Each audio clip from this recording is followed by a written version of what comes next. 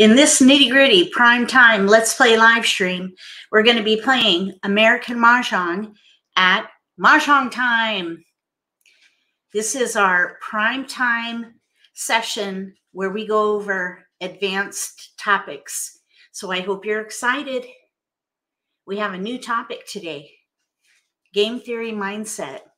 This is a sneak peek into my upcoming book that I hope to release in the next couple of weeks. So I hope that you enjoy it. Please let me know if you have any questions in the comment section below the video, if you're watching the repost, or if you're watching live and you're a channel member. First of all, thank you for joining as a channel member. Second, write your questions in live chat. Thank you for being here. I appreciate it. Thank you for watching my videos and for sharing about my channel. Moderators, thank you for helping monitor chat. Today's format is nitty gritty, so no socialization, please. If you prefer gameplay with commentary and a little bit of shenanigans, socialization, join us on Friday nights at 6 p.m. Eastern Time for a more casual experience. I'm going to share my screen and we're going to get started right away. Say hi in chat while I get this going. I want to make sure everybody can hear me.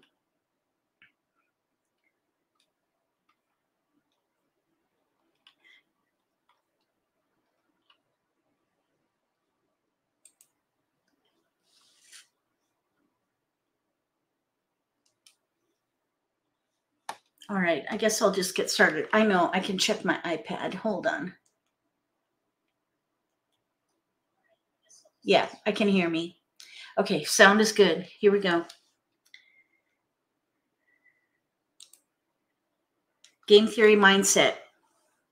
So, this idea is something that I've been thinking about for quite a while. And it all started when I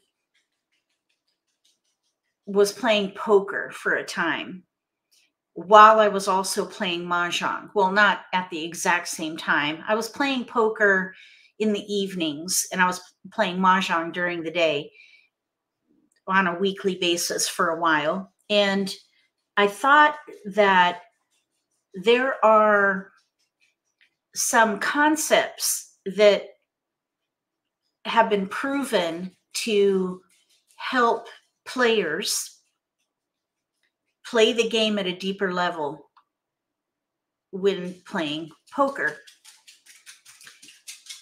And so I thought, why not use these concepts and apply them to Mahjong? And that's what we're going to attempt in this presentation. So I hope that you're ready for a new way of playing the game. It's going to be a paradigm shift. So clear your mind, take a nice deep breath, because we're going to look at things a little differently with game theory mindset. I hope you're ready. With the game theory mindset, we're going to first lay a foundation. Then we're going to talk about setting the setting, wherever it is you're playing, the format, the people, and the framework. So all these things need to be considered when you're making this mind shift change foundation, setting, format, people, and framework. Is everybody with me?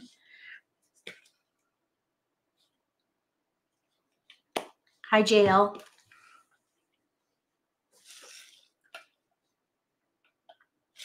Welcome. Do I have any poker players in the room? Let me know. Let me know in chat.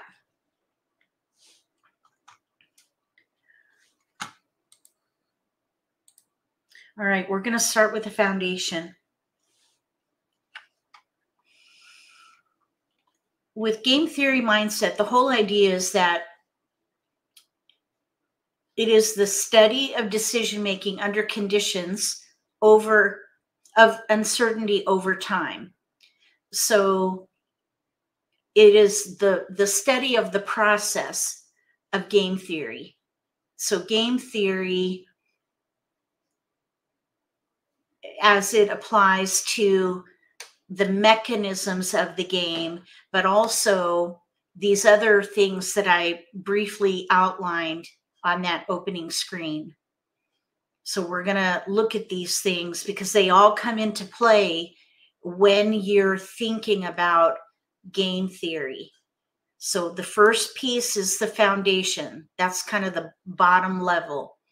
The study of the decision making under conditions of uncertainty over time. When, as far as mahjong is concerned, just to take it a, or to uh, modify it and apply it to how it how it works with mahjong is it is the study and application of strategic decision making based on information gathered by observing how people act and interact when playing the game.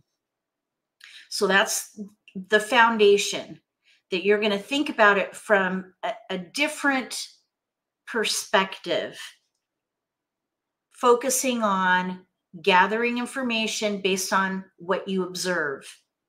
Read the room in the nutshell.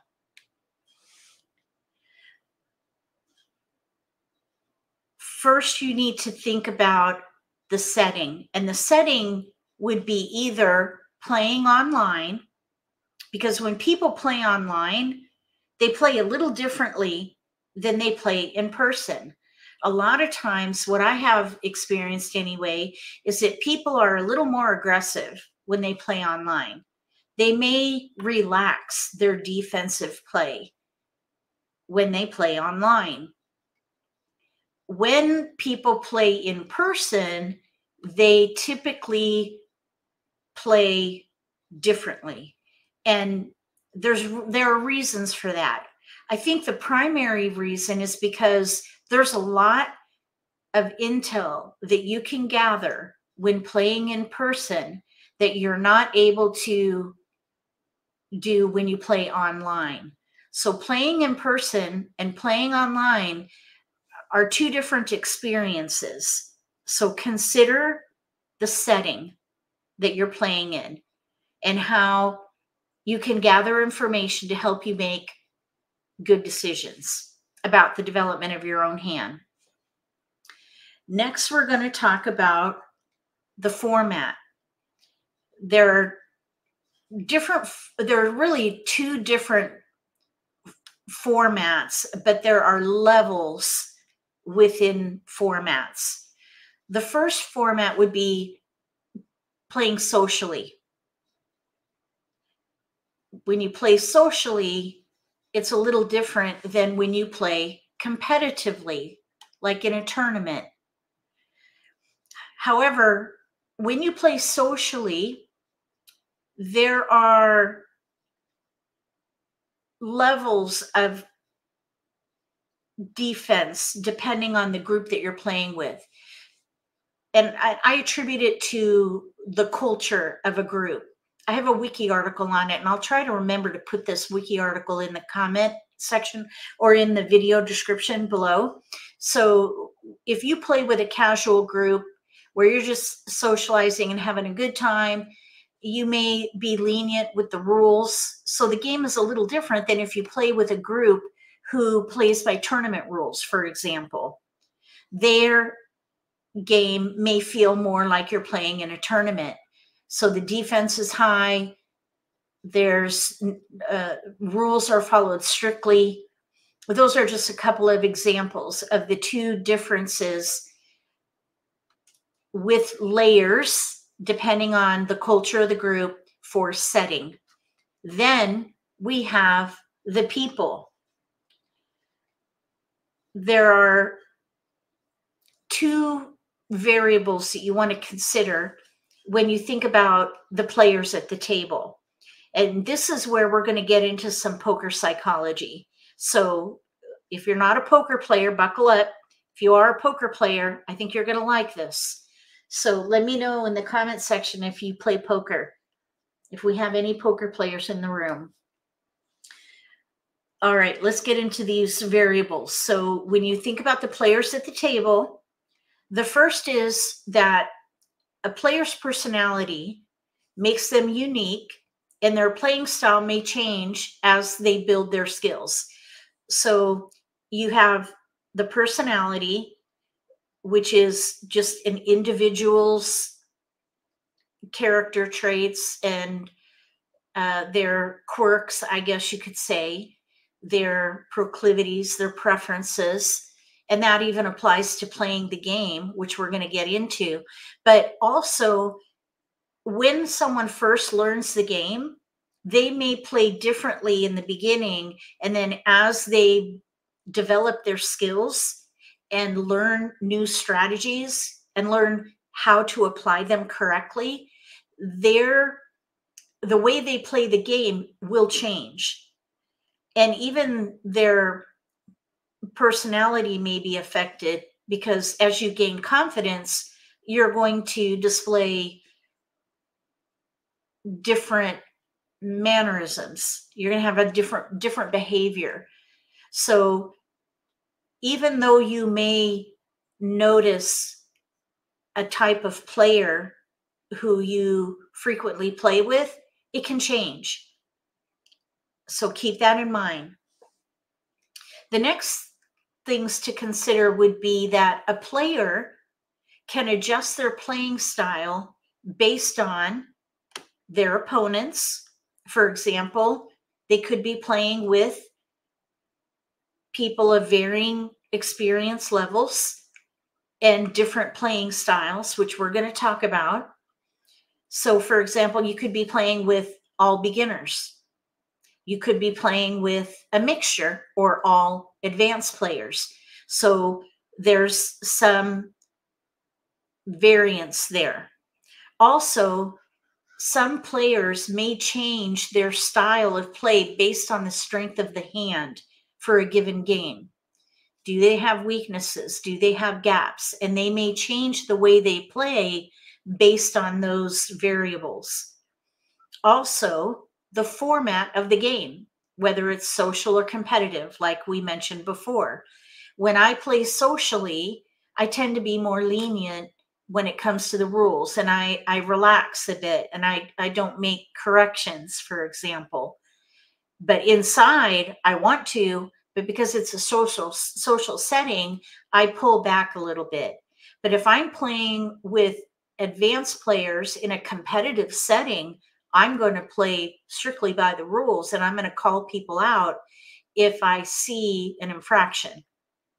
So I may, for example, disqualify a player in a competitive setting or with uh, an advanced group of players.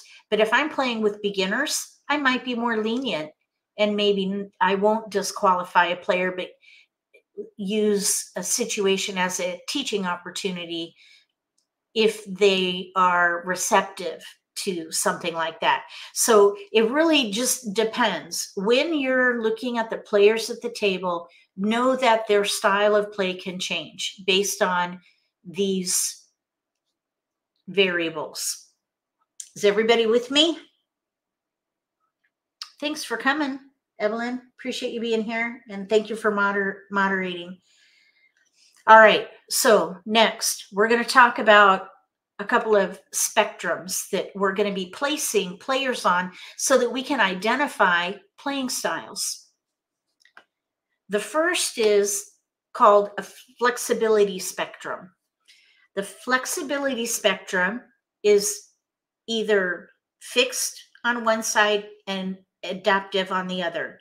And there are varying degrees on that spectrum. So a player may be on this spectrum on the fixed side. They may have a tendency of, of picking a hand very early and sticking with it versus another player may play at the category level and maybe they don't pick a hand until the middle of the game.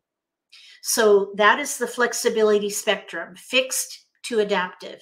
And somewhere along that spectrum would be a given player. Uh, let me see. I, I see a comment. Let me pause for a second. Okay, change the style, change of styles at tactics, sort of play dumb. I would say that would be kind of like um, a bluffing, maybe, but no, change your style of play more so that uh, th- where you are adjusting your style of play to take advantage of a situation. So, for example, if I am playing a hand and I have it, and it is, let's see, maybe I'm not a good example because, well, let's just hold that that thought a moment because we're going to circle back to this uh, because I want to introduce, I, I want to finish up with the the spectrums, and then I want to introduce the the different playing styles and then we'll circle back to how things can change variables can change the way someone plays. So we'll circle back and answer that question in just a little bit evelyn. It's a good question. So we'll we'll circle back. All right so i'm going to get back to the presentation now. Um, thank you for asking the question. Keep them coming. Uh, Oh, there's a light across my face. Okay, hold on one second. Thank you.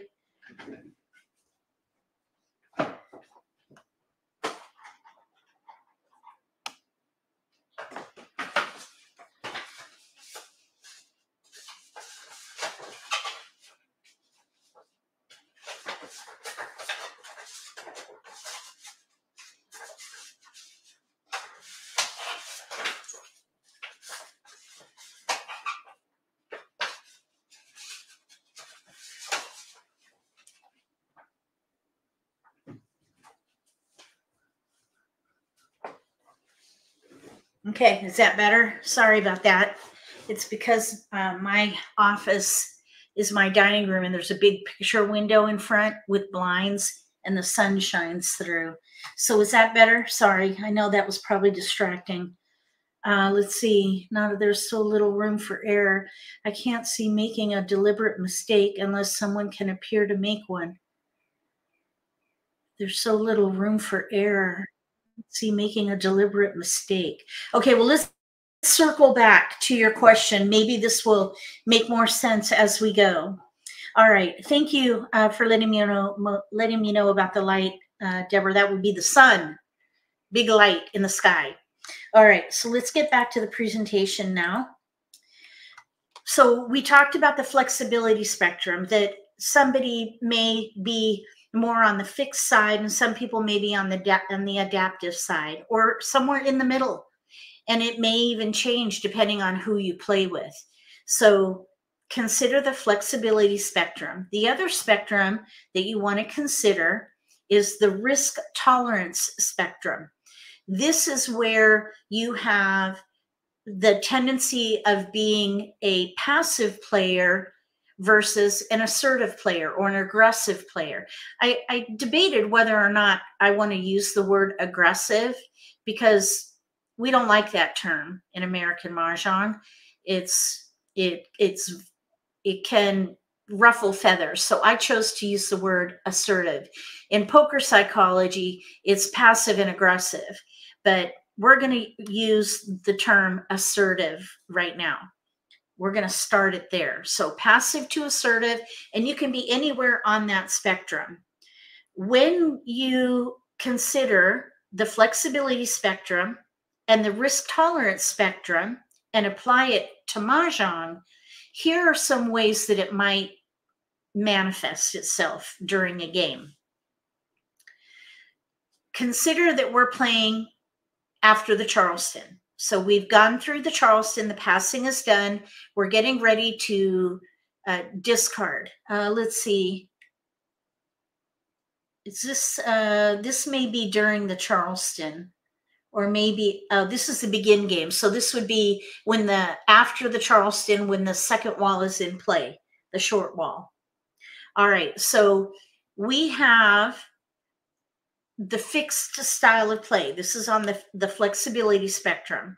So you have players who may pick a hand from the dealt hand and they are they're probably going to stick with it through the Charleston and even through the pick and discard phase of the game.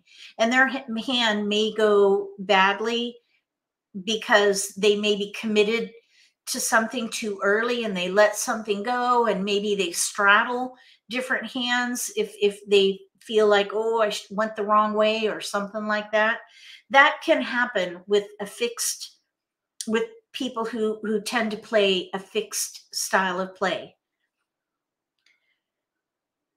So then on the other side we have an adaptive player. They tend to pick a hand or pick really a category more so from the beginning when you first get your dealt hand and they delay picking a hand until they run out of discards that would be an adaptive style of play so fixed players tend to pick a hand early adaptive players tend to stay at the category level and gather tiles for the category and then pick a hand later. They delay picking a hand so they can stay adaptive and go with the flow depending on the hand how the the tiles come in. Any questions so far?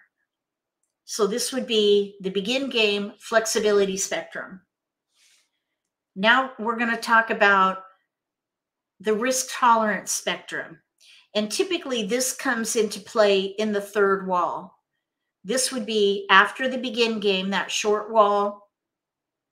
Then we're going to do push out the third the third wall where that would be called the middle game. This is where you tend to see some change in players based on their risk tolerance. Passive players tend to delay their first exposure to control information, especially if it, an exposure would include a joker. So they would hesitate to do that. That would be a, a trait in a passive player. They don't want to lose that joker. They, so they're going to delay. On the assertive side, we have play a player who may want to expedite hand development. So they're going to claim a discard and make an exposure, even if it means losing jokers. They're going to be okay taking that risk, probably depending on the development of their hand. So a passive player may delay making the, that kind of an exposure with risk, whereas an assertive player will accept the risk and move forward to expedite hand development.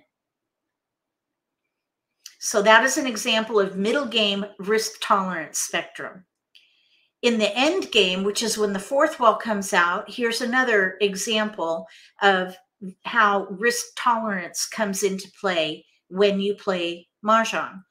A passive player will tend to fold their hand, break up their hand, and discard safely. Play not to lose, or play not to discard that winning tile. Whereas an assertive player tends to play to win, even if there is risk. They're more tolerant of risk. So they're accepting that, yes, there may be risk, but I'm going to push forward because I have a, a strong potential to win, a high probability of winning. So I'm going to push. An assertive player will behave that way whereas a passive player will pull back and they'll play more defensively because they, they have a lower risk tolerance. So when you think about the flexibility spectrum and the risk tolerance spectrum and you put it on a quad. So instead of two spectrums, we're going to put it on a quad. This is what you get. So on the left side, we have flexibility. That would be the flexibility spectrum where we have fixed on the bottom and adaptive on top. And then on the bottom, we have the risk tolerance spectrum where we have passive on the left and assertive on the right. So it makes a quad, four different squares. And we're going to put players in the quad. Now, keep in mind the first uh, slide, one of the first slides that I shared about the variables, depending on the setting, the and the um, format. You know, is it a competitive game? Is it a social game? Are you playing with advanced players or beginners? Are you playing with passive or assertive players? All those things kind of come into play, and they may change the way somebody will play the game. So think think about it and keep it fluid. So even as you think about your own way of playing the game, decide where you think you might be in this quad, in this, which one of these four quarters you would be in. And I'll share what mine will be in shortly. So, you ready to go forward? First one we're going to talk about is fixed passive. Fixed passive would be what I'm going to call a stingray. This would be someone who tends to pick a hand early and they're going to be less reactive. They're going to wait to call a tile.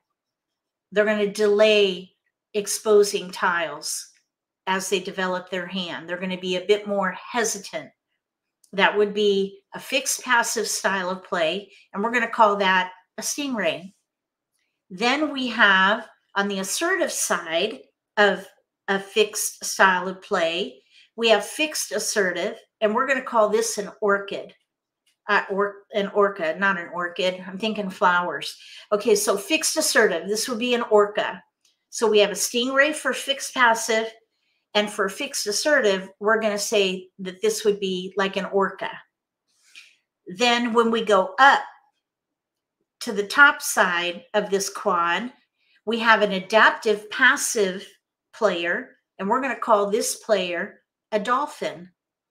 And then at the top right, we have an adaptive assertive player we're going to call a shark. So we have Fixed passive is a stingray.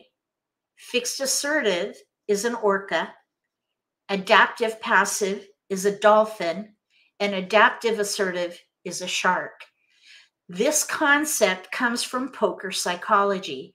And we're going to think of the game from that mindset. This is where all the game theory comes in, where you consider the personality of the player and their style of play and how they may behave at the table to help you make decisions on your own hand development.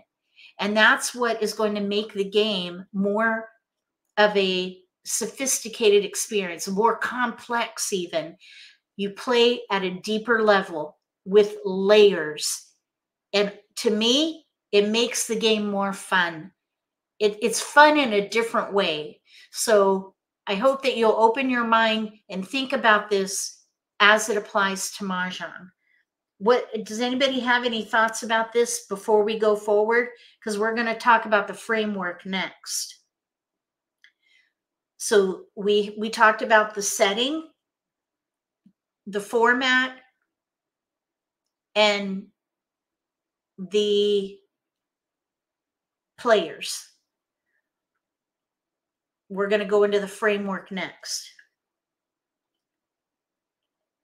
Okay, here we go. I don't see any questions. Let me see here. Okay.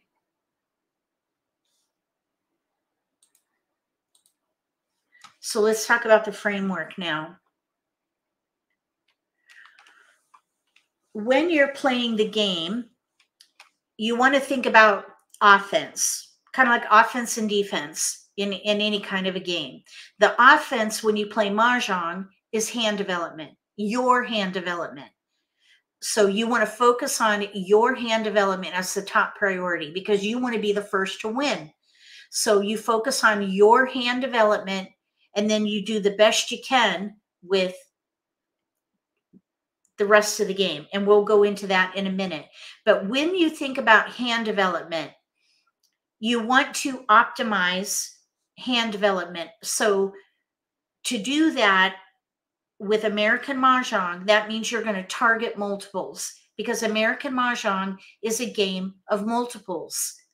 You're going to optimize by leveraging the multiples if you have them.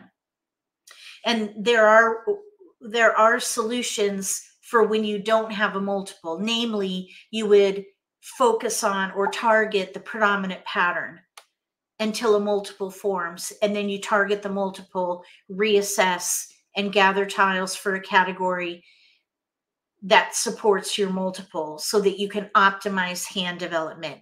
Because in the end, you're going to need multiples. Every hand on the card uses them. So if you target them from the beginning, you're going to set yourself up for success. So as you look at your hand development or the process of hand development offense, you're going to optimize. You're also going to look for ways to maximize. And that would be choosing a category on the card that uses most of your tiles. So in this middle example, we have a three, six, nine hand. You could also maybe do three, four, five, six, but here we're thinking three, six, nine uses the most tiles. And in this example, there are no multiples. So we're going to maximize.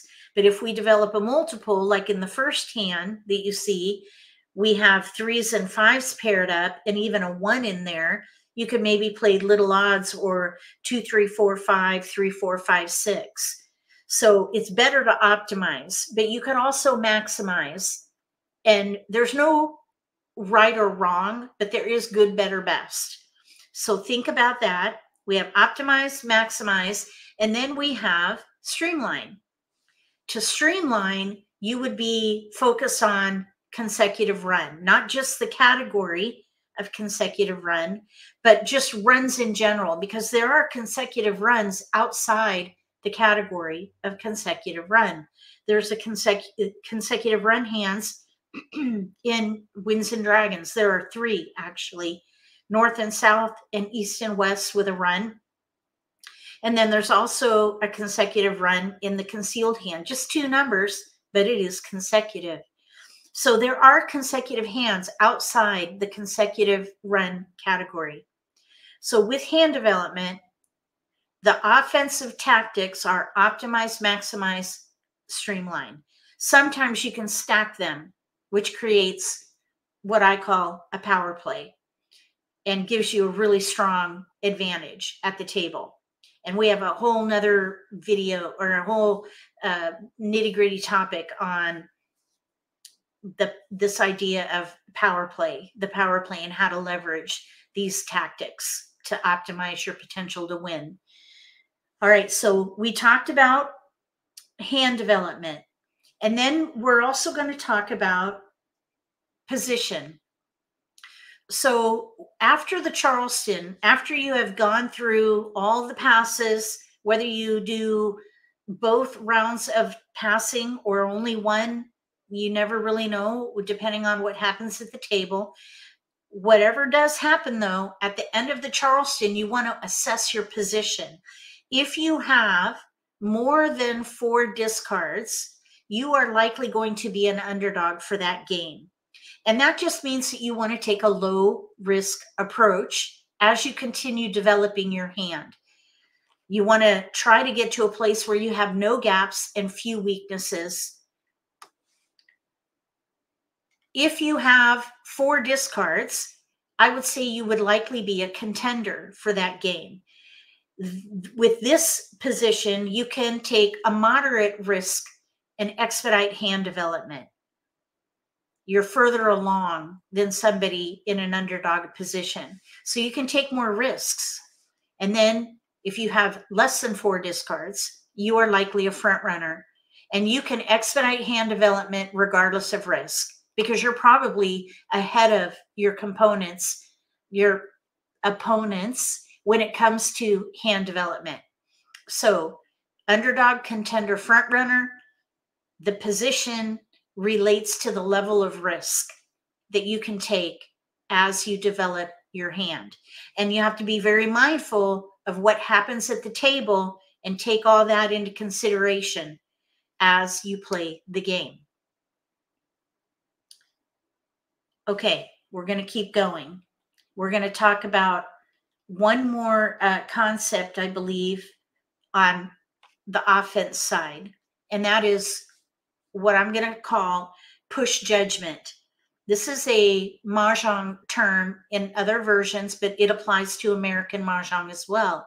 And this is whether or not you're going to play to win or the alternative, which we'll get to. And we're going to call it push. This is whether or not you decide to play to win or push the hand and make it work, make it win. And you're it's sometimes it's a judgment call. Sometimes it's clear that you know what you need to do. Sometimes you have to make a judgment call, and sometimes you could be wrong. So there's that. But let's just talk about how to do this. So if you think your winning tile is in the wall, or it may be discarded by an opponent, play to win. Discard the riskiest tile first and accept the consequences because you may incur a penalty and you may also get criticism from your opponents at the table if you're discarding a risky tile. And then, of course, if you win, win with dignity and humility. So there's a judgment there that you have to make. First of all, assess whether or not you think you're going to get your winning tile, whether by discard or a pick from the wall and then discard the riskiest tile first because it's only going to increase in risk. If you have a risky tile, the longer you hold it, the more risk it it uh, the the attribute of risk increases over time. So that's why you want to discard the riskiest tile first if you're going to play to win or push. This is the push judgment. Now we're going to talk about defense. So we talked about offense, hand development, position, and push judgment. That's all offense. Now we're going to talk about defense, discard planning. Simplify by looking for useless tiles, inefficient tiles, and subordinate tiles.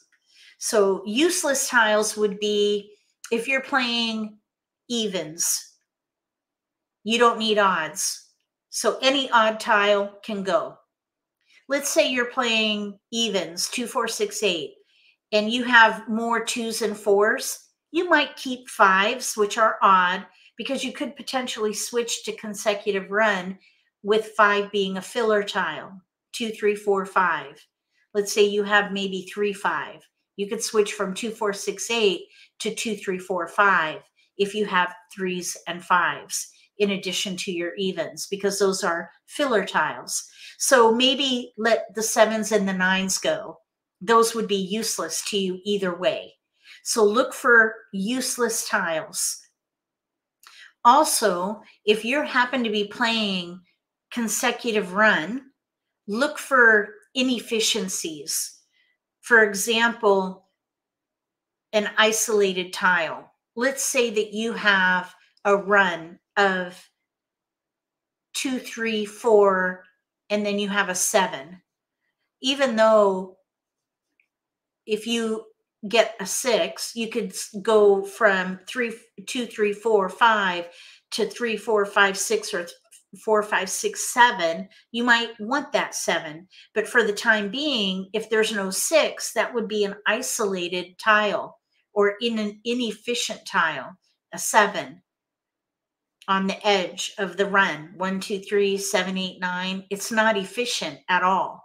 If you want to stay in the range of four through six, four, five, six, if you can, because it's much more efficient. So consider not only if inefficient tiles, but isolated tiles, especially if you're playing consecutive run. And then consider subordinate tiles, which are sim which would be similar to useless tiles. So if you're playing 369, you might just let fours go. They would be four, eight, the two, four, six, eight tiles, even though you may need, you want to keep the sixes, the two, four, eight, those are in a different category. That would, those would be subordinate tiles. You don't even care about those. You're gathering three, six, nine. Maybe you want to keep odds, which also would mean any two, four, six, eight. Well, except the six, of course, because if you're in three, six, nine, you want to keep the sixes. But two, four, eight, you would want to let those go. So these are ways that you can simplify your discard planning. Useless tiles, which lately I've been, all of these I've been calling misfit tiles as a category. All, all three of these bullets are misfits. Useless, inefficient, isolated, and subordinate. Those would be easy discard planning. And then with those misfit tiles, you just mitigate the risk if you're in the Charleston and you're discarding, uh, um, you're creating passes, you want to mitigate the risk. And if you're in the pick and discard phase of the game, you want to look at what is out and discard the best tile at the time based on exposures, discards, and what's in your hand. And then look at those misfit tiles and pick and choose which is best to go out and when. Okay, so the next thing with discard planning would be to optimize. You want to optimize hand development and also optimize joker exchange potential. And there are some strategies or tactics that you can use to help optimize for joker exchange, especially. One is called outside in, and I've got lots of videos uh, with that topic. Also, inside out, which is the opposite of outside in. Basically, you have a range of nine numbers, it one through nine, three suits. Outside in would be one, two, three, and nine, eight, seven in that order. So one and nine, two and eight, three and seven. So outside in. If you discard from outside in, you're going to optimize with efficient tiles maybe those are going to be more likely in exposures with jokers. The kicker with outside in to optimize for joker exchange is that you need to switch that thinking or switch the tactic by before the end of the third wall because the, the inside out tiles, the more efficient tiles, three through seven, those are going to be more and more risky as the game progresses. So then towards the end of the third wall, you want to switch that optimization to inside out. If you're going to play to win, you want to discard the efficient tiles first because those are more likely going to be used by your opponents. So the outside in are going to be more safe discards typically than the ones on the inside of that nine number range. And then you also want to optimize for joker exchange by holding pairs that you don't need. If they happen to, to develop in the begin game or in the early part of the middle game, you may be able to plan your discards so that you can give your opponents time to develop their hand enough or to a point where when you discard one of the pair tiles that you don't need, and they will then call it with an exposure with a joker. And then on your next turn, you do the joker exchange. That is called joker bait. And by the way, that was coined by Tom Sloper of Sloperama. So thank you, Tom, for that fabulous idea.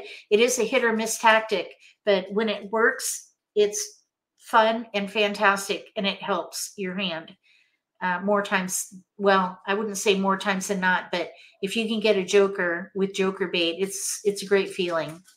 All right, so the next defensive category that I want to share when it comes to discard planning is sabotage. When you're in the middle of the game, the middle game, third wall, this is typically when you can identify what hand your opponents are playing, especially if they have two exposures or more. And if they're exhibiting physical tells, this is where social intelligence and situational awareness comes in because you're going to be gathering information that is available typically when you play in person. You don't have that benefit when you play online, which is why I mentioned the setting and the format early in this presentation. But you can gather information and sabotage your opponent's hand. And this sometimes works well, especially if you decide to fold in that middle game, because you want to make sure that you're not going to harm your own hand. And, and you can sometimes plan it so that you're using tiles that maybe your opponent might need. So these are the three ways that you can sabotage. The first is destruction. For example, if you see somebody who maybe is playing a year hand, then maybe they have a pung of twos and a kong of twos, and they had a hesitation when a white dragon went down. And you have the potential to kong a white dragon with a joker or two and use the the white dragon for your own hand development. You can destroy their potential if they are in fact playing a year hand by calling a discard to make a kong that could destroy their hand or at least limit their ability to develop their hand further because unless they get jokers if they are in fact playing a year hand and you now have a kong of white dragons it's going to hurt their hand development or it's going to hinder their ability to improve their hand development because you now have that exposure. You you you used a sabotage tech, tactic another one is inaction and this is where you intentionally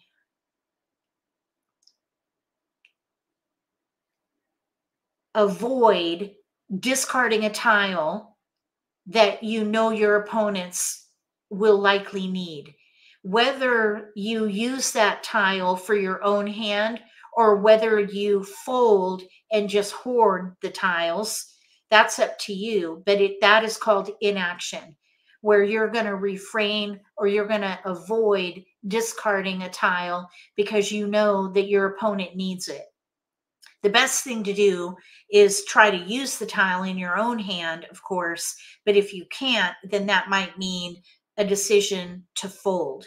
And then you would hoard those risky tiles. The other sabotage that you can use is wastage. This is when you would forego doing a joker exchange to avoid making another player's hand jokerless. That's called wastage. You're wasting that symbol tile that could have been used to do a joker exchange because you don't want to make their hand pure or jokerless. Another example of wastage would be let's see, there was another one, two different ones of wastage would be I can't think of it at the moment. Joker Exchange or discarding a Joker. That's what it is. Discarding a Joker, like in the end game. Let's say that you decide to fold and you want that game to end in a draw or a wall game. You're going to discard a Joker. That would be wastage. So typically that brings a cringe at the table from your opponents, especially if multiple jokers go down. That is wastage. You're wasting the jokers. Uh, and it can be painful. So those are ways to sabotage because it takes the jokers, excuse me, out of play. So, for example, if I use a joker in, expo- in an exposure, there there could be potential for someone to do an exchange. But if I discard the joker, it just wastes it completely. So sabotage can happen three ways destruction, inaction, and wastage. You can use all three of these tactics when you're planning discards. Always trying, though, to develop your own hand as your priority. So simplify, optimize, sabotage. All right. Last, we're going to talk about the risk assessment matrix. Okay, so this comes in when you get towards the end of the third wall and you're going into the middle or the end game.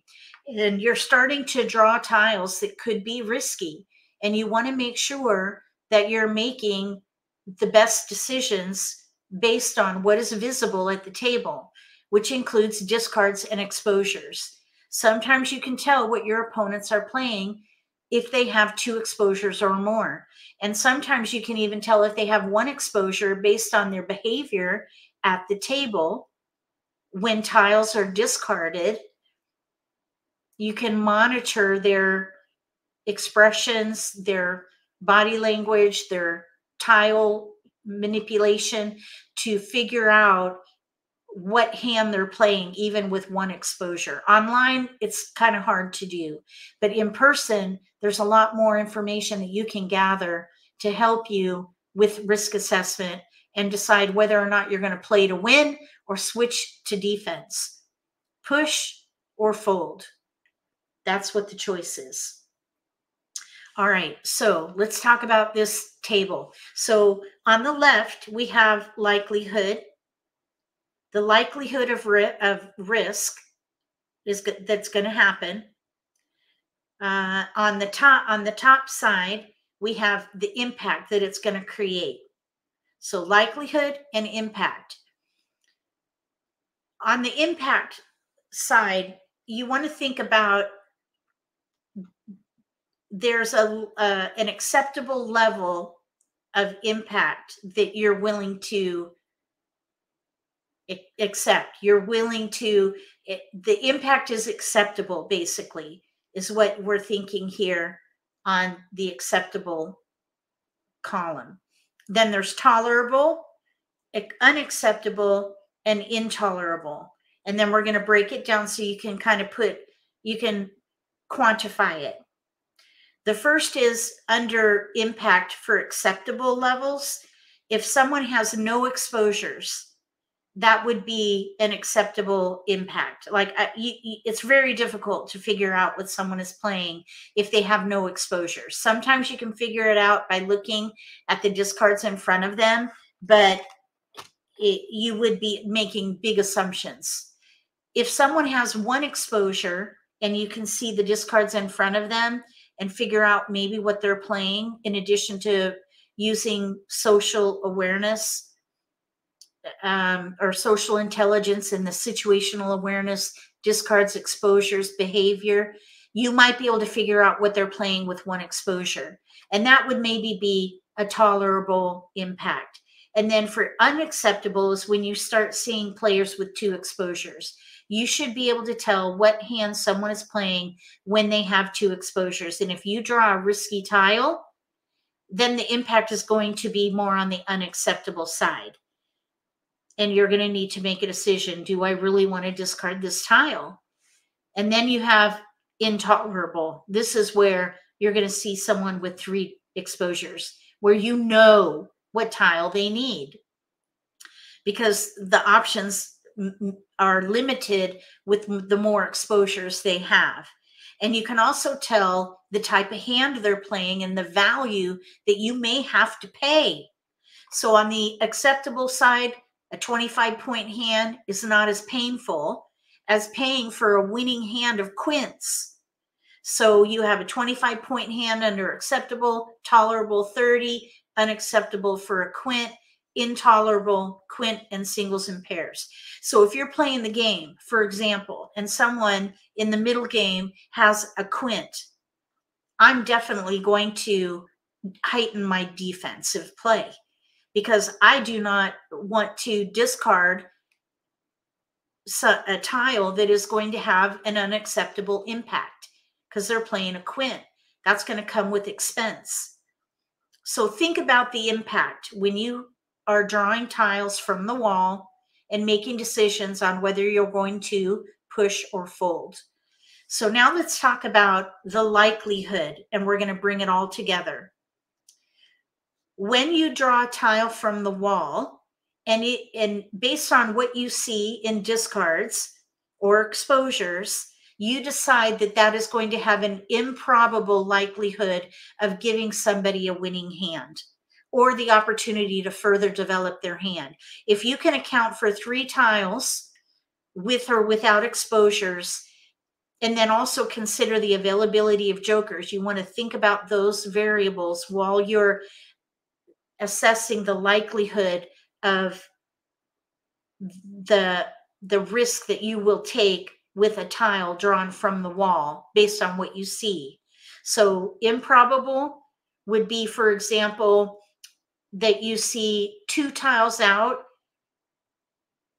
maybe that discard won't be as risky as a tile that you draw from the wall where there's only one out.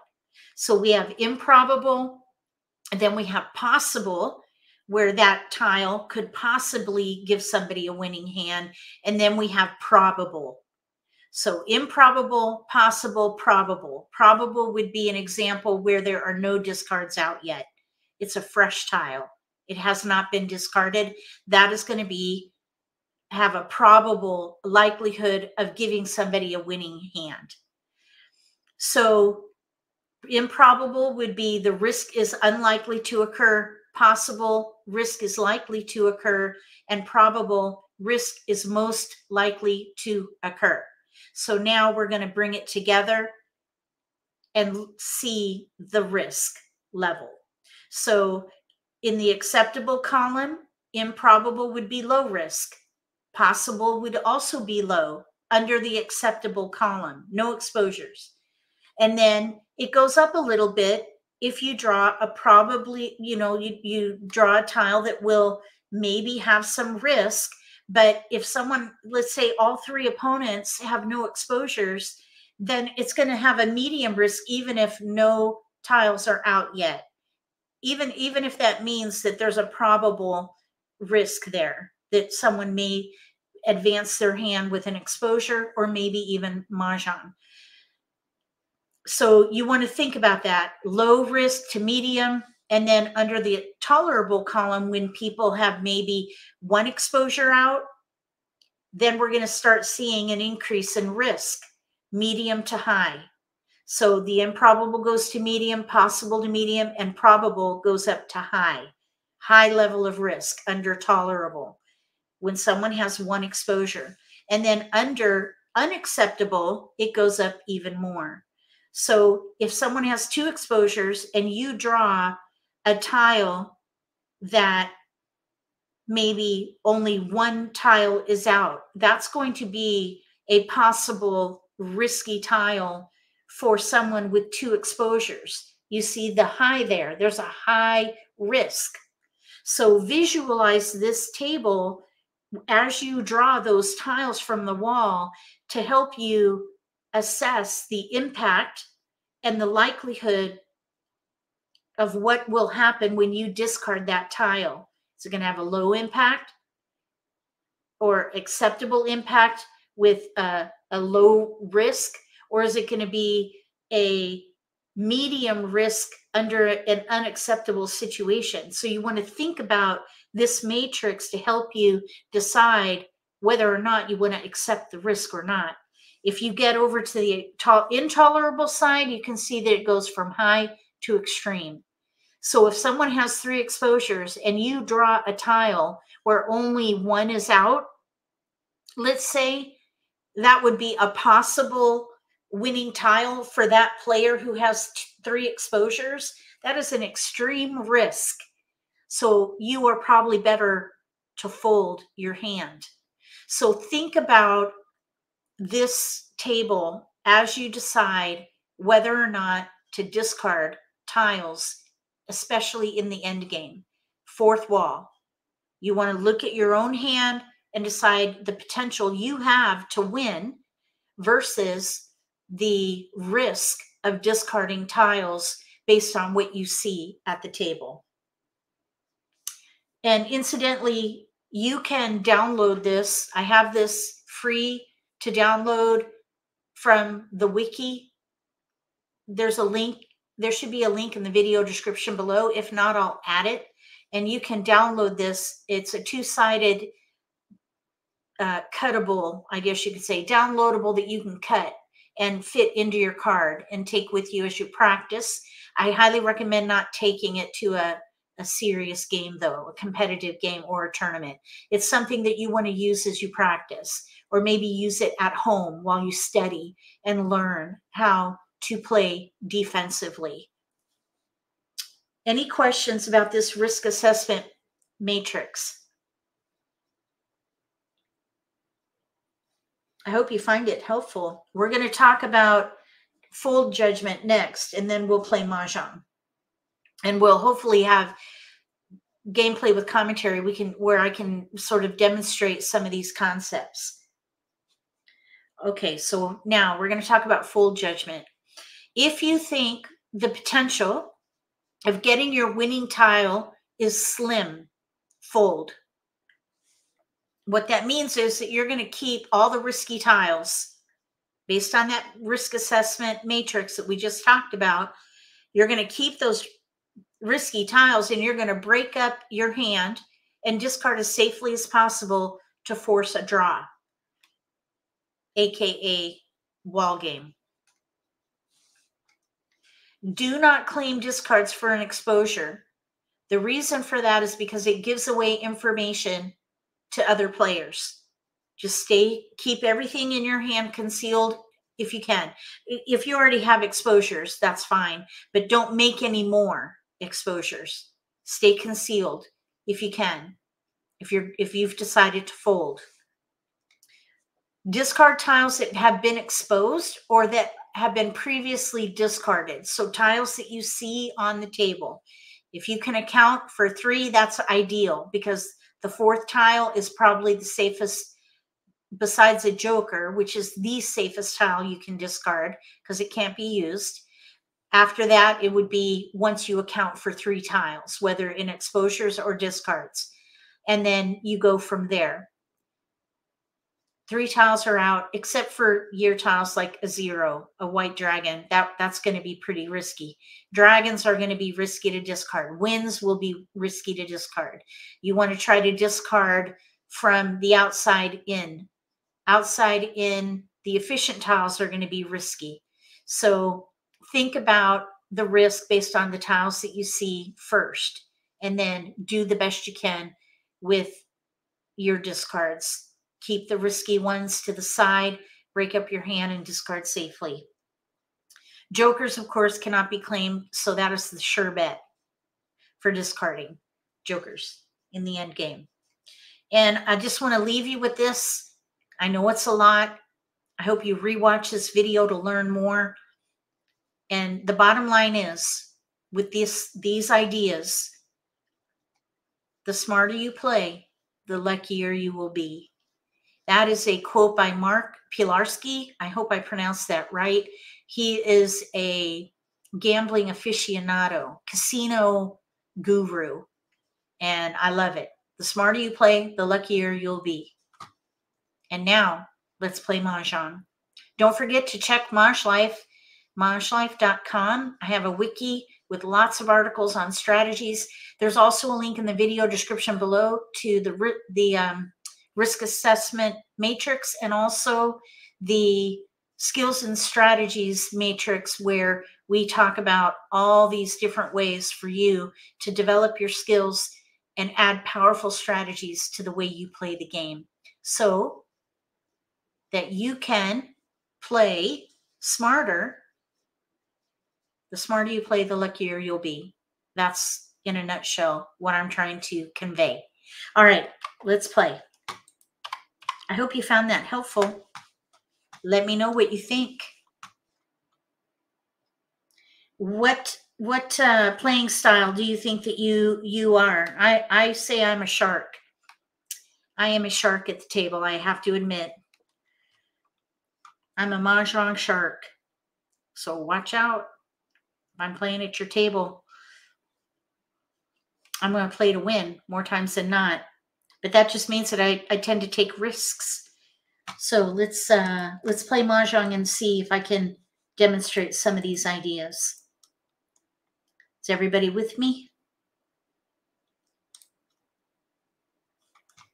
Let's play here.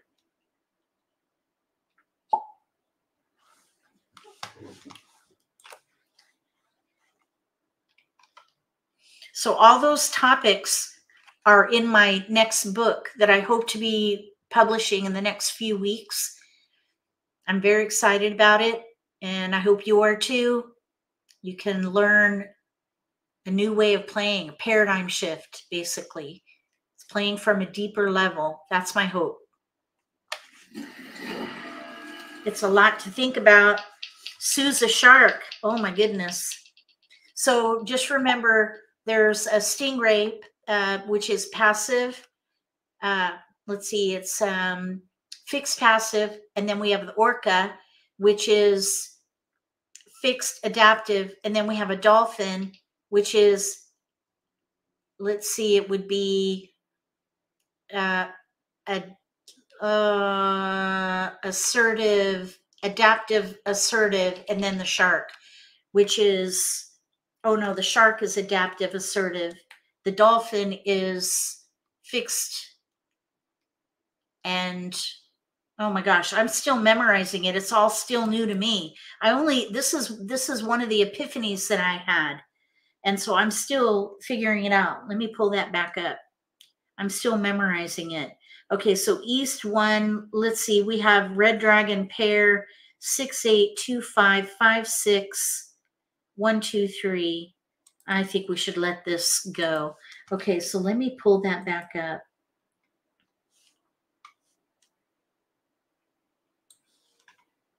Oh.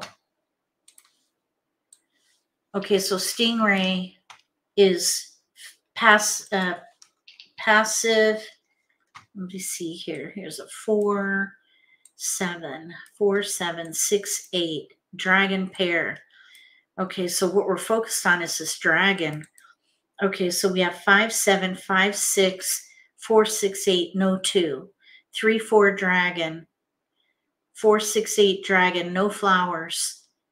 Really, this dragon is not helpful unless we get unless we get a, a seven, nine, and dots. That's a that's a big gap. Let's see here. We have one, three, five, six, seven. Let's keep the BAMs. All right, so let me go back down there. Okay, here we go. Uh, here we go. Fixed fixed passive is a stingray. Fixed assertive is an orca. Adaptive passive is a dolphin. And adaptive assertive is a shark. Adaptive assertive is a shark. That's my tendency.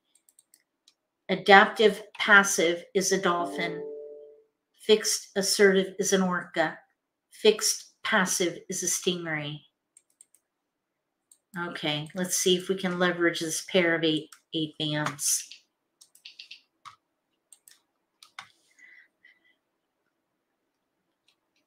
Okay, we have two, four. Looks like we're going to be playing some kind of a a two, four, six, eight hand, maybe. Let's see, three, four, five, six dragon. We should definitely keep going.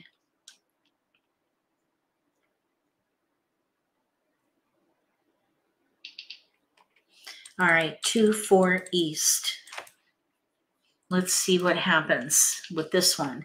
We have a gap, no, no flowers.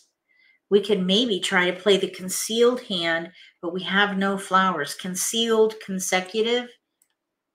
Okay, so let's see here. We have three, four, five, six, no two, four, six, eight. We're passing across. We have to pass. Three, four, five, six, dragon. Since we have no two, we're going to let the eight go. I'm kind of thinking we should play three, four, five, six, pung, kong, pung, kong. Second hand down. Okay, we didn't get any keepers, so let's just keep that eight.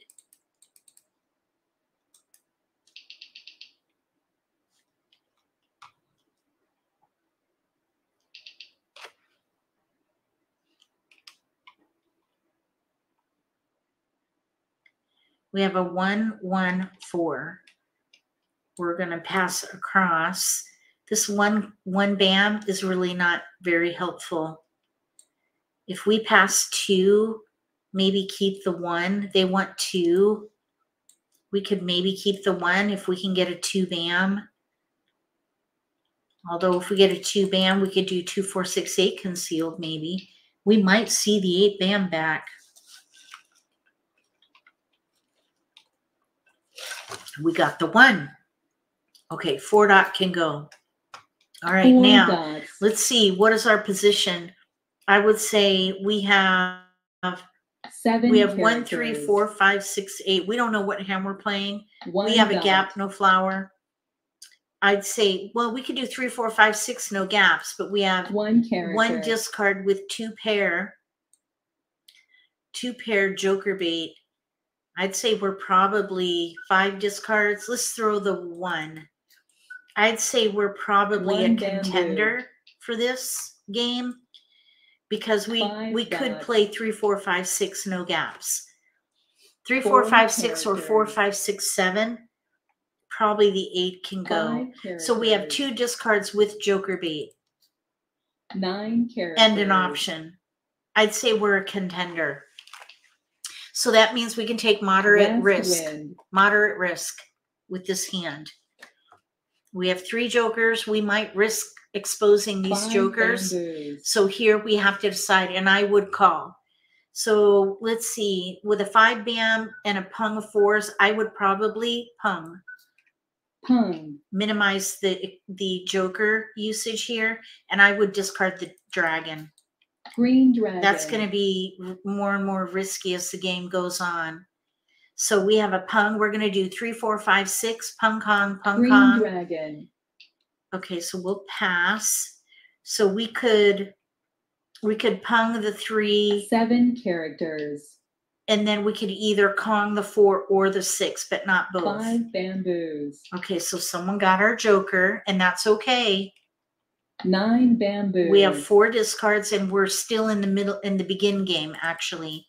So Green dragon. with two jokers, we have a weakness with our six bam. Flower. I would say we're probably a, a contender still. we need another good pick. Five characters. We need another good pick here. One bamboo. Okay, five bam pung. Three, four, five, six is what we're playing. Three bamboo. Okay, I would pung.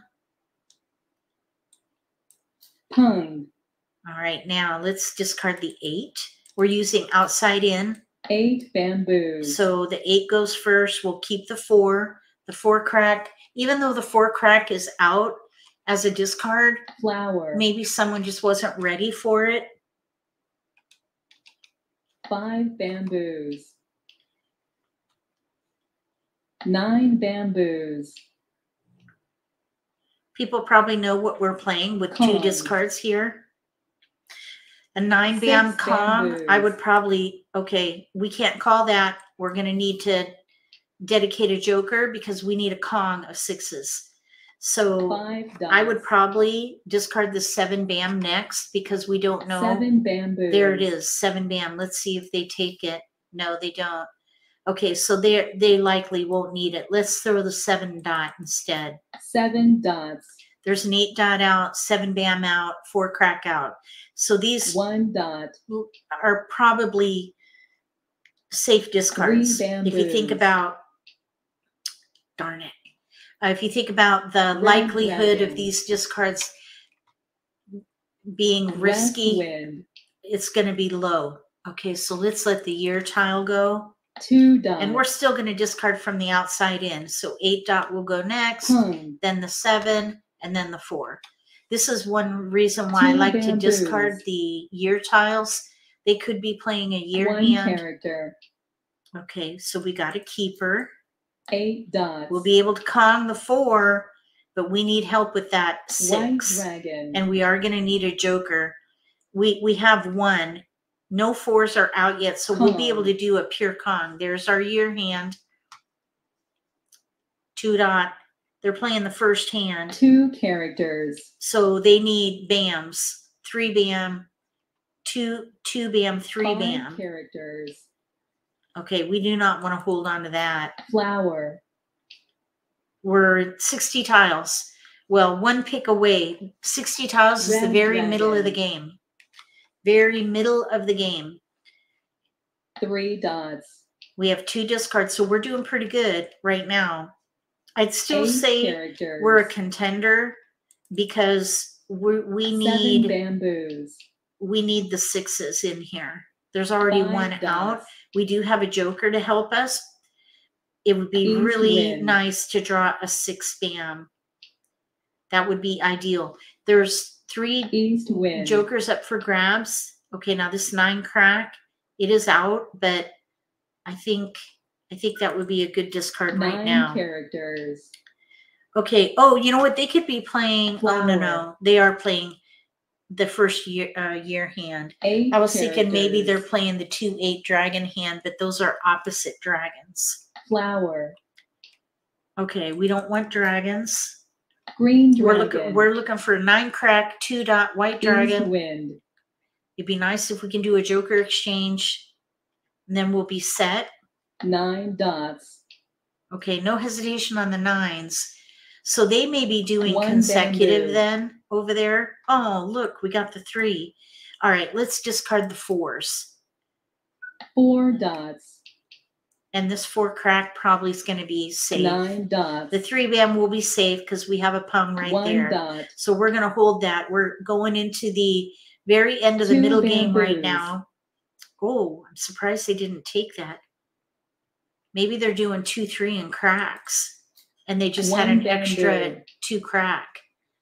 They must be doing two, three, and cracks Two bamboos. because the twos are down. Eight characters. So a, a two, three cracker are going to be very risky. And after this One pick, we'll be in the end game. Okay, four crack already went down. Nobody wanted it. Let's throw the four. Four characters. No, little tiny bit of Flower. hesitation. The player on our left may have a four, but Five dots. There are no takers. Nope, they have seven, eight. Okay, so let's see. News concealed with seven, eight. Over here, two, three in cracks. Over here, three, six, nine. They're playing a three, six, nine hand. And then over here, we're doing three, four, five, six. All right, let's play again.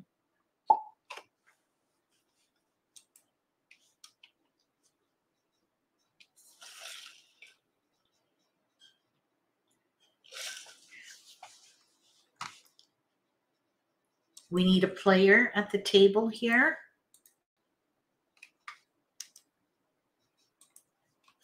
And we're off. Off on a new adventure, new game.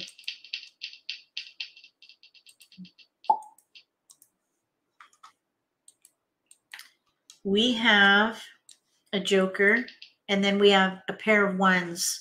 One, three, five, seven, nine, no gaps. Let's throw south, green, or that's a red. Sorry, I was looking at my BAMs. Let's see, one, three, five, seven, nine, five, seven. Let's let the four BAM go. We do have some potential for the odd pair hand. We'd have to throw away a joker, though. I'd rather use it and play the first hand. One suit odds. Let's see, one, three, five.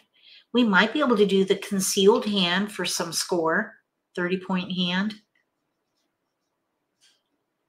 Okay, we have a one and a seven. All right, so we're kind of in between one, seven, three can go, seven can go, one, three, five, five, seven, nine concealed. But we have one, three, five, seven, nine, pair seven. I think what I would do here is probably one, three, five. I would probably let the one dot go. Play one, three, five, seven, nine. Oh, one, three, four. Mm, that's a little bit risky. Let's see here. Let's do four, one, and then let the seven go.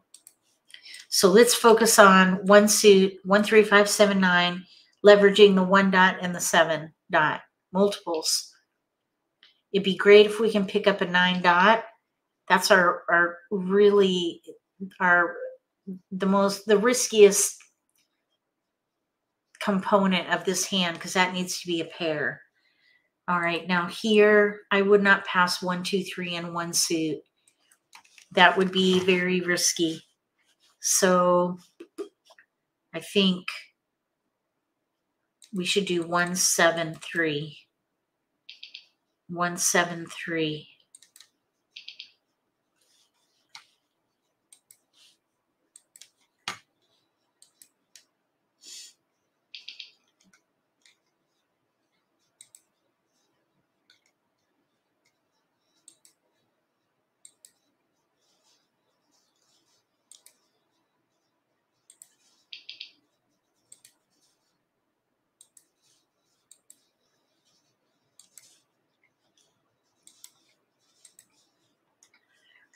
Okay, we got the one back. We did get a seven. We have a five. I'm still thinking about that concealed hand. We're passing across though. So we have one, three, five, seven, nine, seven crack, five bam. Let's throw the seven. Throw, pass, whatever. Oh, we got a seven. Okay, so now seven dot right there. Here's a one. Let's pass one, six, one dot six bam. I'm kind of thinking one, three, five, seven, nine. Really, our, our biggest weakness is the nine dot, and then the five dot we need to build. One, three, five, seven, nine, and one suit.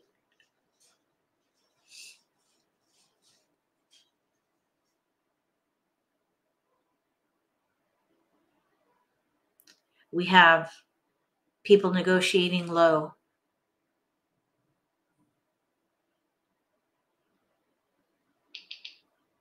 Okay, let's see if we can get a keeper out of here. No, we, oh, oh my gosh, that, that's kind of shocking, really. Okay, five, seven. They want three, five, seven. We have a seven dot pung. So I think what I would do is pass fully.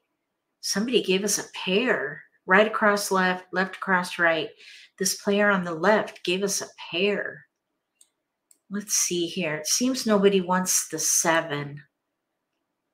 All right, let's pass. We'll pass all three. I don't know if we're going to get keepers out of this one.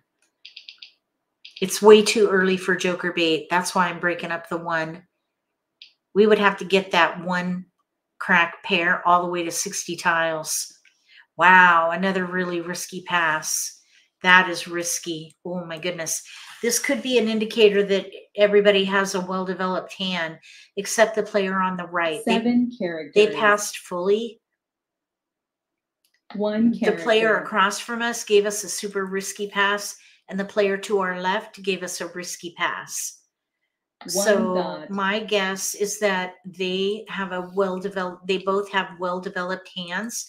We got a keeper Red dragon. we're one away from a really strong hand. I would say we we're probably a front runner.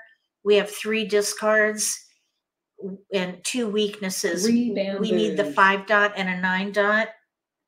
Pat? Three dots. they passed blind for that one. Oh, okay. We're gonna pung Pung. So it, it was just happenstance. One character. The player across from us gave us a one. Um, was it uh two, Six bamboos. two, three red? All Five right, thank you, Anne. They passed blind. One dot. Oh, that's one of the challenges of passing blind. All right, we need we need a Three nine dot or a five dot. If we get a five dot, we could Kong and be ready on a nine, but I don't Three like waiting on a single tile. I don't like waiting Seven for bamboos. to win with a pair tile. It's very risky because if somebody has a a pung with a joker of the tile you need, you're in Four trouble. dots.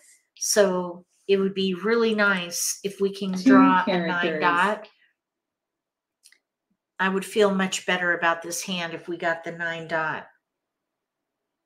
Four bamboos.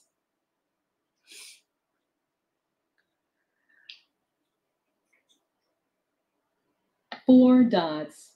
So nine dot would be ideal. We'll nine take, dots. Oh, there's the nine dot. Nobody wanted it. So that's a good thing. We may be okay. Six dots. We need to watch for nine. Three characters. We need to watch for nine dots now. White dragon. Hesitation on that. West wind. Okay, three three bam can go.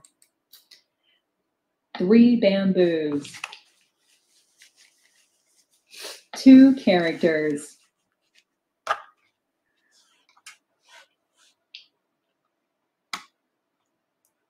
Four characters. Nine dot would be the ideal pick for us.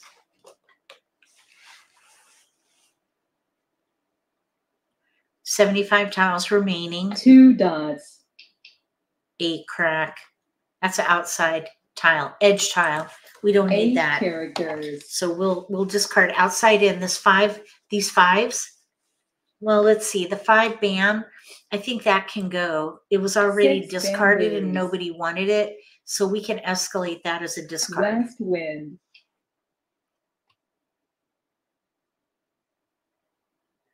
Two dots. Okay, one bam. I don't see any one bams. Five bamboos. We'll let that go next. That's on the edge. Four characters. There's a hesitation on the four crack. Two dots. And we have a five crack. We might be able to get a joker exchange out of that. Four dots. Oh, east. No. East wind. We need a nine dot.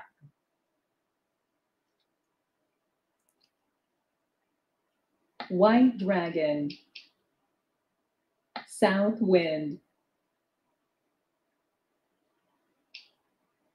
Okay, nine dot. We need a nine dot. Seven characters. A five bam. All right, we already discarded a five bam. One Nobody wanted it. Two are out. That should be safe later. We're at 60 tiles now. This is the very middle of the game. We have Green two dragon. discards. We have a pretty good chance to win. We need that nine dot wind. though. That would, oh, one bam. One It would be really nice to draw a nine dot. I would feel much better about this hand if we can do that. But if we draw a joker or a Seven five, we'll be okay. We'll Kong and then we'll be ready on a nine. But of course, with two exposures, they're going to know what we're playing. bamboos. Right now, we're what I call semi stealth mode. We have one exposure. There's a five dot. Five characters. Not not ideal, but we'll take it. Uh, so I would say we're a front runner at this point. We have 53 tiles remaining and one discard. So I'd say you can bump yourself up depending on where you are in the wall for picking. We, we're still in the middle game. We have one discard. Four bamboos. So I would bump us up. Let's see how many seven cracks are out. Three and five. Let's let the five go. Five bamboos. There are three seven cracks out recently. Green dragon. So let's see. Five cracks are out, five BAMs are out. So no one's playing like numbers. And there's also ones and threes out. So I don't think anyone's playing little odds or like numbers with fives. Somebody somebody could still be playing no norths are out. This is going to be a bit risky. North wind. Somebody could, could still be playing consecutive with fives.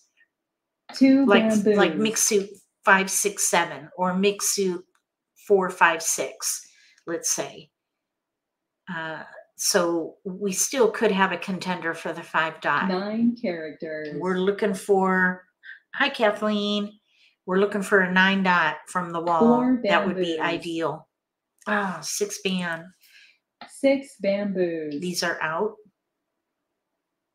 Eight characters. we are looking for five dot kong ready on the nine i would Eight love bamboos. love love to draw that nine dot it's best not to be waiting on a pair. Five characters. Two dot. We don't want to hold that. Two dots. Six dots. Eight bamboos.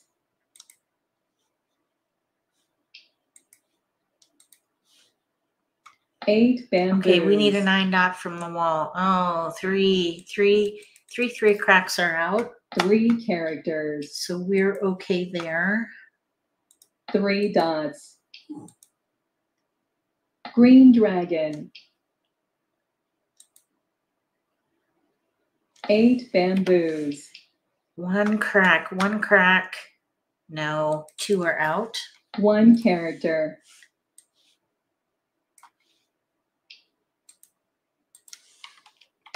Three bamboos.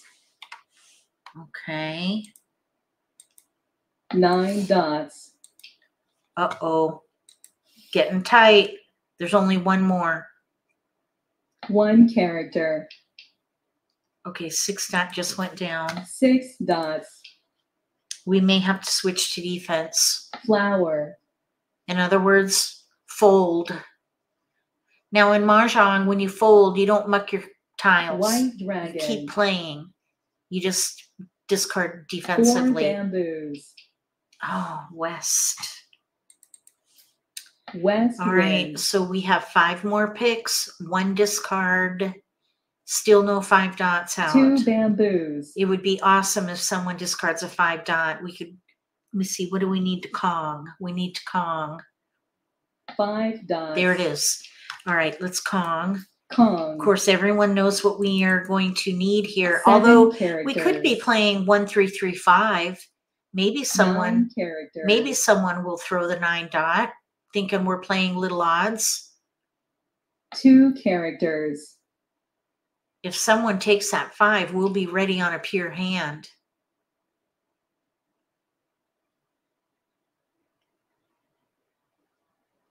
This Two could bamboos. Oh, I'm thinking that could be a risky tile. Sometimes when there's a hesitation in the end game, maybe they have a Mahjong. oh shoot. News concealed. Concealed hand, so I do not feel bad about discarding that tile. There were there was also a north out.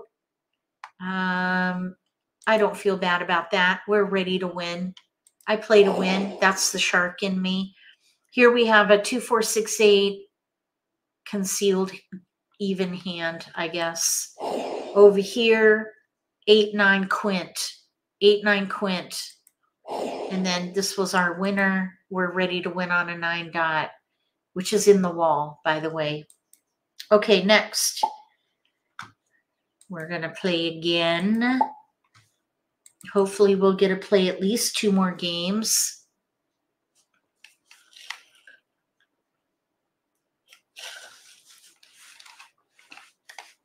We shall see. We're going to try. All brown belts at the table.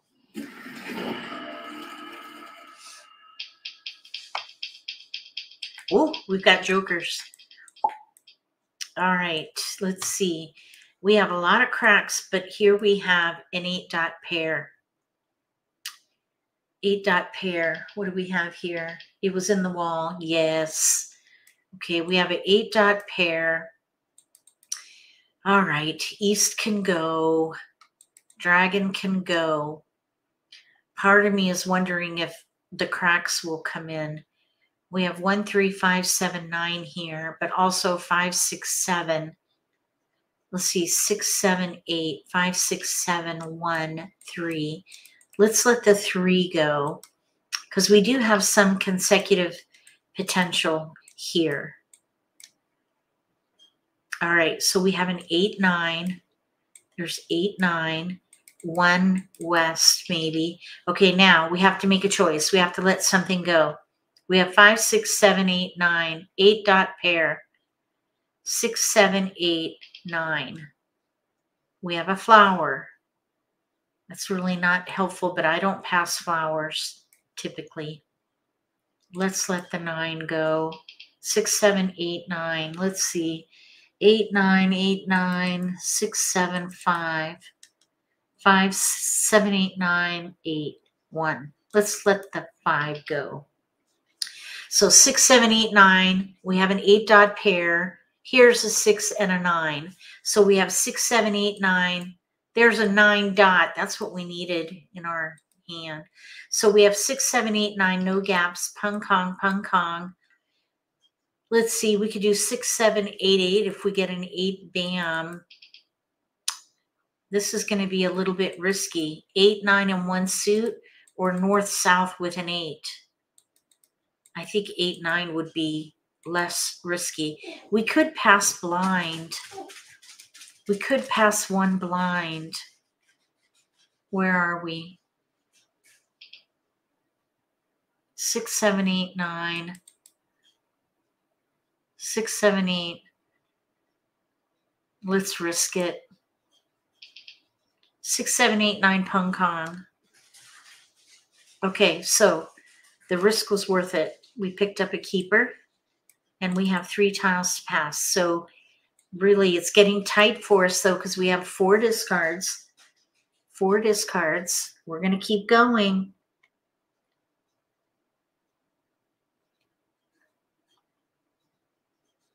North one nine.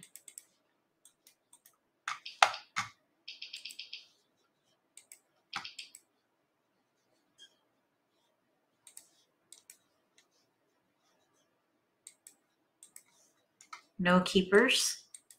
We've got tiles to pass. It worked out nice.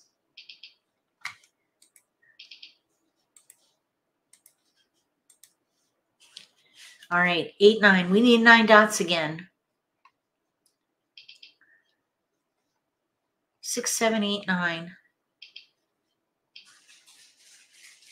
Everybody's passing fully. No keepers.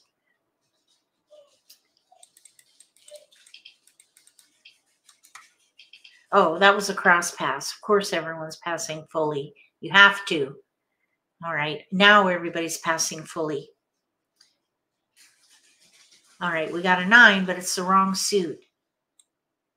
We could maybe keep it. I guess no. I don't think so. I'd rather pass fully. Let's see how many our opponent wants.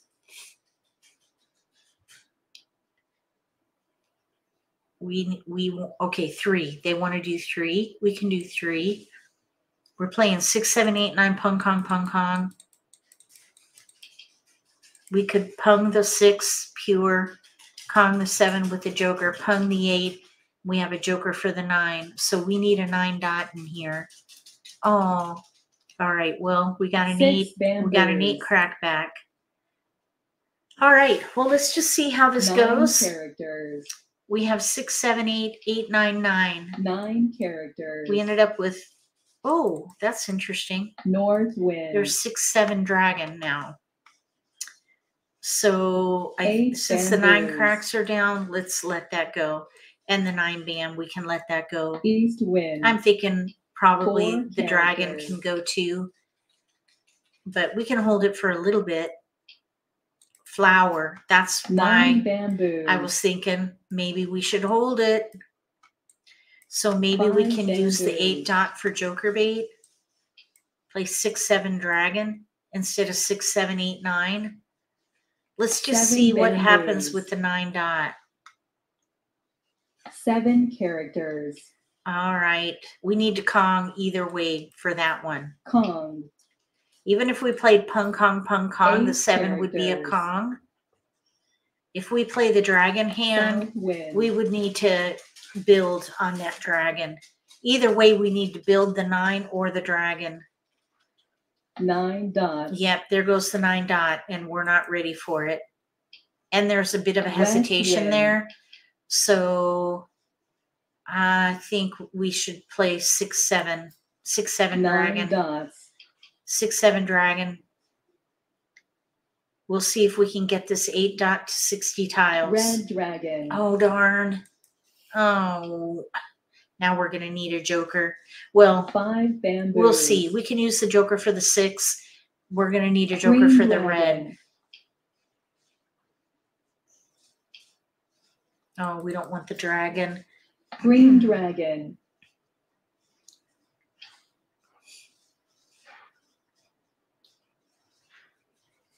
Four bamboos.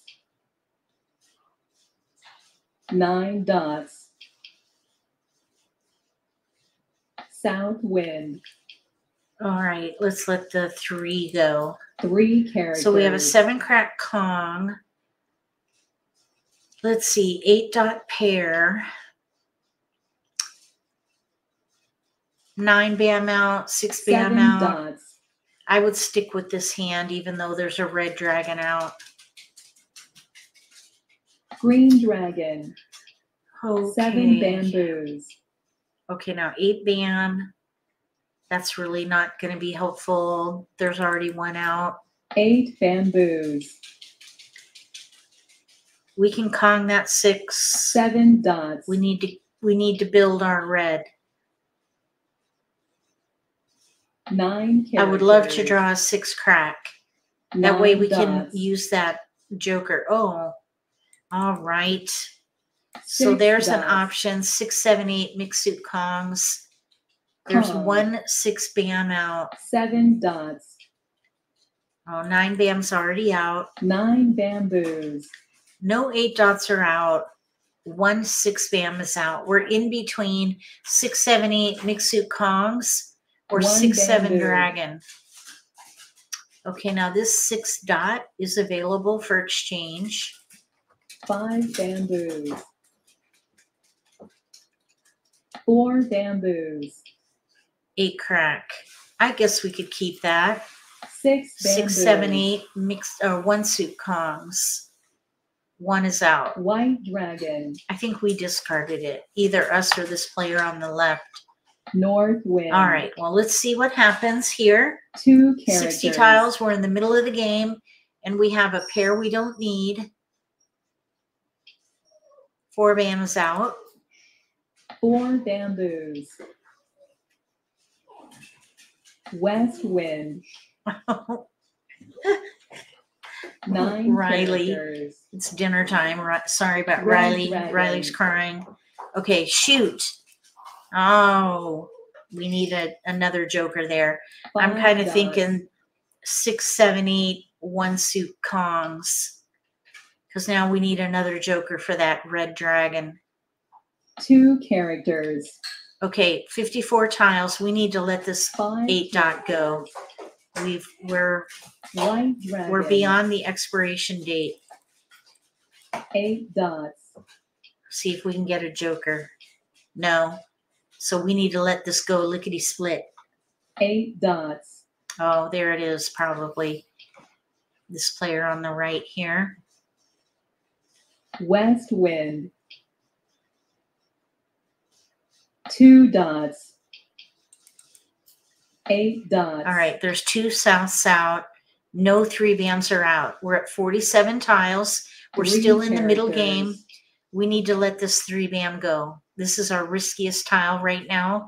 If we're Seven playing to win, we don't want to have a, a fresh Two tile. dots. Three bamboos. Okay, now there are two two cracks out.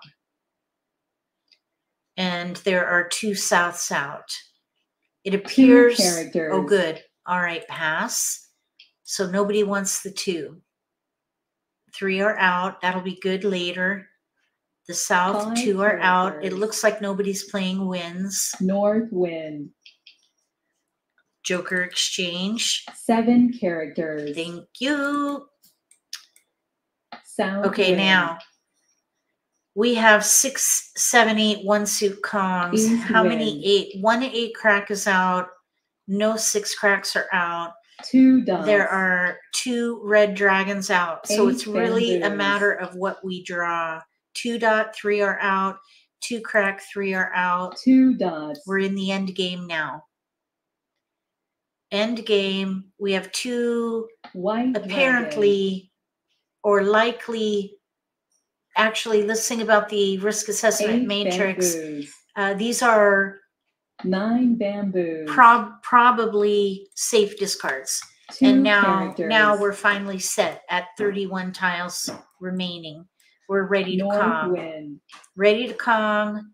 But if we have one more exposure, people are going to know what we're doing. White dragon. It'd be nice if we can draw. Oh, there it is. Exchange. Six dots. And now we'll discard that safe discard. Red And we're ready to win on a double wait, six or eight. One of two tiles, double wait. Characters. We have a pretty good chance of winning. Pretty good Three probability. We have a high probability of winning this game. Three dots. Six crack, eight crack, joker. Oh, that's already out. Six bamboos. Interesting. Hesitation. That was a little bit scary. Six bamboos. Okay, there it is. I wonder if they were playing a three six Three nine dots. hand over here. Eight dots.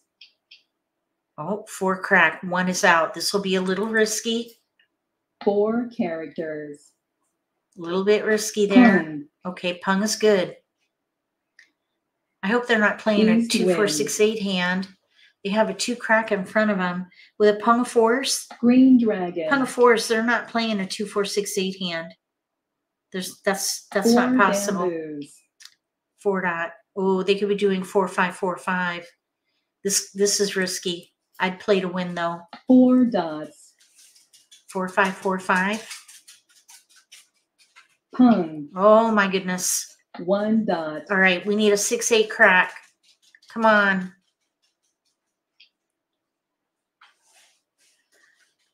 We're semi stealth mode. Three bamboos. With one exposure, people aren't going to be able to tell what we're doing.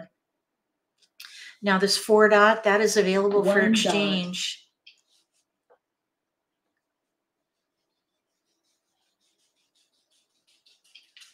Exchange. Nine bam, that should be safe. Three are out. Nine bamboos. Okay, so we have uh, three more picks.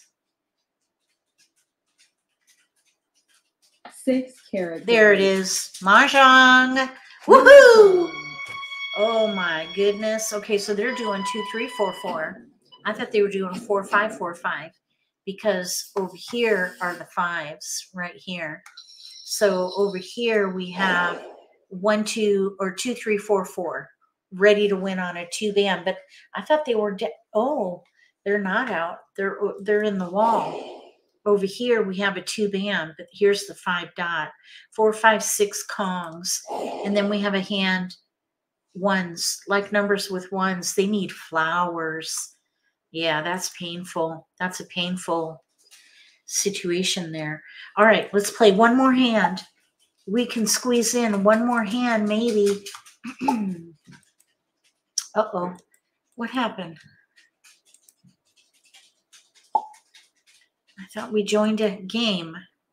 Kind of booted us. Thank you. Thank you for the kudos on that one. A shark win. We were we were playing we were a shark. We were swimming.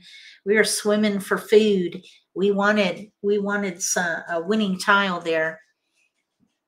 So we were on hunt. All right, let's go.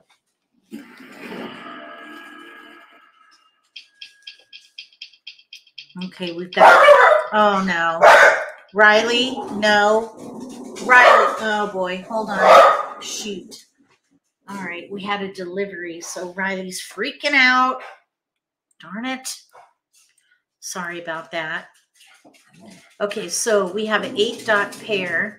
We have some two, four, six, eight in here, but we have a gap, no six.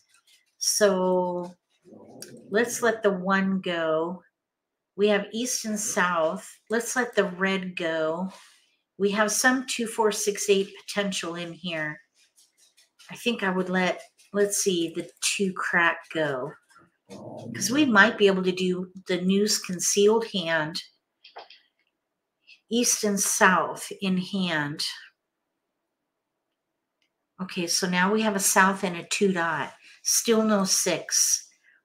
So one can go let's see here. Two bam can go. We have seven, eight, nine, southeast. These, these could maybe be the norths. Seven, eight, nine, or two, four, six, eight. We have a gap, no six. We need to be able to pass here. North and west. I kind of want to give this one more chance. Seven, eight, nine, eight, nine, seven. All right, let's let the seven go because we could maybe play two, four, six, eight, pung kong, pung kong, or eight, nine with news concealed.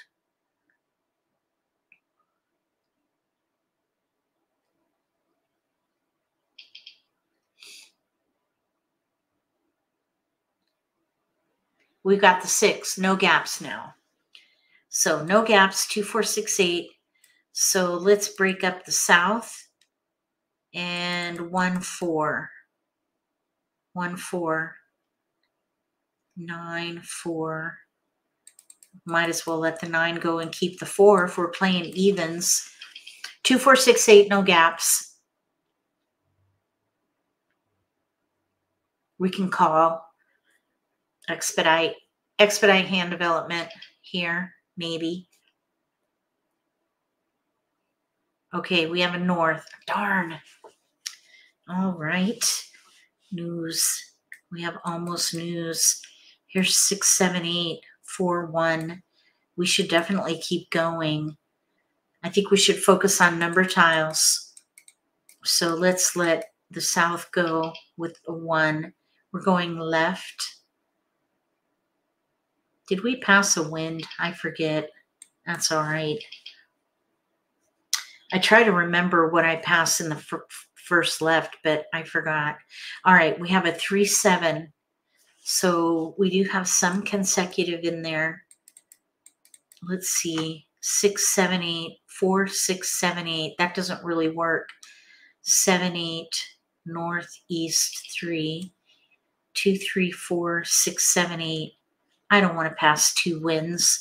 Since we have seven, eight paired, I think we should let the two go. Six, seven, eight. See if we can get the get the get a nine dot five dot nine dot for five, six, seven, eight, or six, seven, eight, nine. We got a one, two. Darn. All right, let's keep the two and we'll let the one green north go. So we still could do two, four, six, eight, let the three go, I suppose. But it would be ideal to get a five dot or a nine dot so we can leverage that seven dot pair.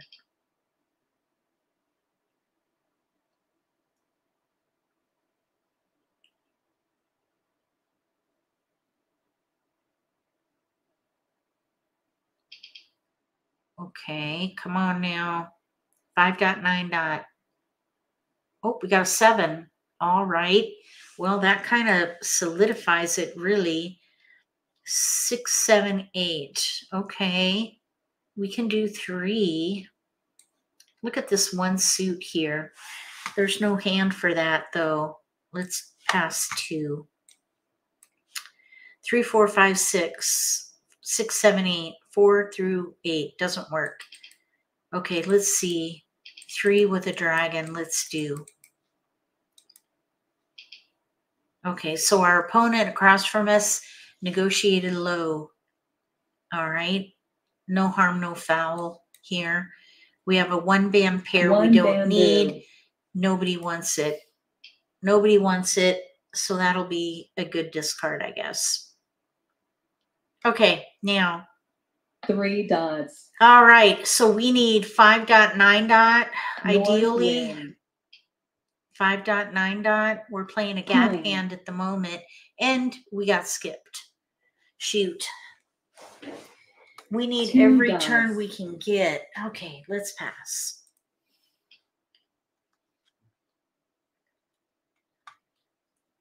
Sorry, it's a little dark in here at the moment. Pung. Oh my goodness. Green dragon. Okay, we need to expedite here. Let's see, six, seven, eight. One dot. I'll pass. One dot. Okay, five, six, seven, eight. East wind. So if they're doing north and south, no hesitation on the east. They are likely doing a run. Flower. They discarded a flower.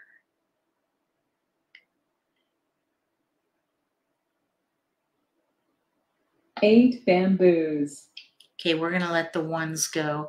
I don't think anyone wants the one ones. bamboo, All right, so we have six bam, six, seven, eight. I kept the six bam. Oh, here's a hesitation on the nine.